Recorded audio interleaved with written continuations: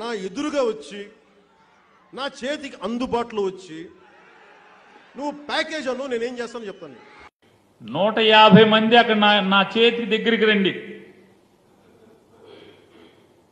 నువ్వురా నువ్వు వచ్చిపోయిన ఎప్పుడైనా జగన్ రెడ్డి ఆ రెడ్డి అని జగన్ దగ్గరికి వచ్చి చేతికి అందుబాటులోకి వచ్చి కొట్టి అన్నావా? గుంటూరులో సబ్బెట్టి చంద్రబాబుని చంద్రబాబు కొడుకుని వాళ్ళ కుటుంబంలో అందరినీ బాగా బూతులు తిట్టావు కదా.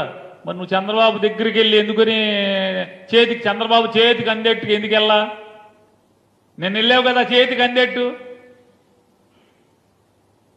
మరి తిట్టలేదే?